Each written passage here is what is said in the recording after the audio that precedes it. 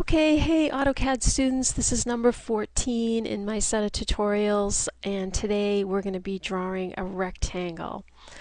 Alright, so what I've done is I've opened up a brand new drawing in AutoCAD which grabbed the ACAD default template that it always does um, and it gave it a name. This name happens to be drawing 4. Uh, so I'm pretty much starting with a blank blank uh, template here. So first thing I'm going to do is a zoom all to get me to the default limits of 12 by 9, brings the screen in a little bit closer, and I'm also going to turn off the grid. Alright, so now let's start with the rectangle command.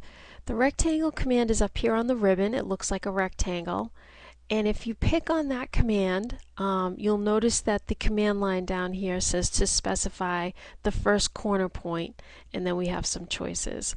Uh, but we're going to go with the, what it's initially asking us to do, which is specify the first corner. So I'm going to pick with the mouse, and then it says to specify the other corner. So I can just really pick anywhere, and I have a rectangle.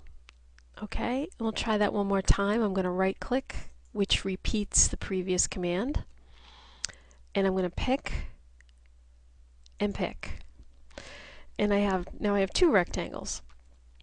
Okay, um, that's nice, but if we want to be a little bit more accurate, uh, we can actually tell the computer how big we want the rectangle to be. Alright, so what I'm going to do is I'm going to come up to the erase command and I'm going to pick on these two rectangles and do an enter and erase them. Alright, so let's do this a little more accurately. Um, I'm going to show you a couple of ways to do it. The way I like to do it and the way I was taught is by using something called relative coordinate entry. Okay, so what that means is I'm going to give it the xy coordinates from the last point that I've picked. So I'm going to start my rectangle here, that being the last point. And I'm actually going to type on the command line the at symbol. Notice down here I did at. And I'm going to now type in the x dimension, which is 11. And then I'm going to do a comma to tell it I'm giving it the y dimension, which is 8.5. So we have at 11, comma 8.5, and I'm going to do an enter. Okay, if I just scroll down here a little bit, there I have an 11 by 8.5 inch rectangle. Okay, uh, there's another way to do this. Um, I think some of the newer users um, will embrace this idea. Um, so I'm going to erase this and do that same thing again. Uh, you may find this way easier. I'm going to come down to the status bar before I start and I'm going to put on this DYN button which is called dynamic input.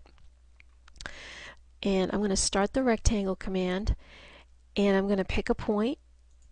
And notice with this dynamic input it has um, a field highlighted for the um, X dimension here. So I'm just going to type in 11 in that field automatically goes there. Then I'm going to hit the tab key and it takes me over to the next box and I'm going to type in 8.5 and I'm done. Okay, so there's your 11 by 8.5 inch rectangle. Okay, the thing you'd like to notice about rectangles is that they are polylines, and what that means is that if I grip this, the entire rectangle is a single entity. Okay, as compared to, I'm going to escape here, um, the old-fashioned way where we draw the rectangle with four lines. I'm going to put ortho on and do this the old-fashioned way. Um,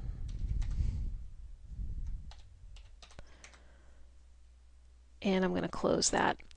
Uh, notice if I grip these lines, each line is a separate entity.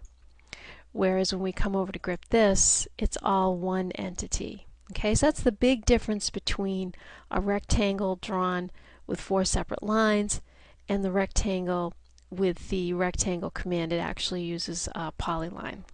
So I'm going to escape to get rid of those grips. Um, And at this point, you can um, put some dimensions on here if you want to.